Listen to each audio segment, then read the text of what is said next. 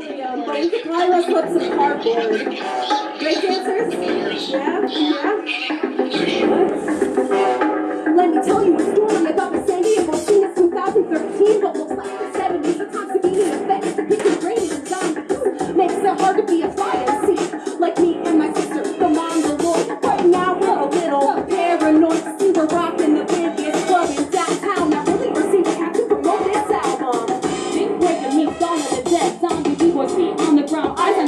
If they don't, let a crowd if they don't go insane. These cats will uprock all up on you and eat your brain. Now you know me and Mongo are forced to be reckoned with those. That's so proud, they're not always getting it till the something is showing. Practicing night and day, you see most local crews have had to pay. Except for us and a select few.